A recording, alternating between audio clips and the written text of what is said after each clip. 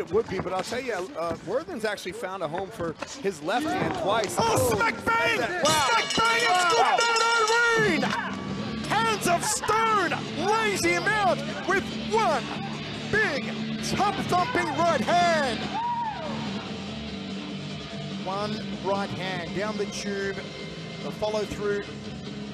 The first right hand just put him down, right? Look at this.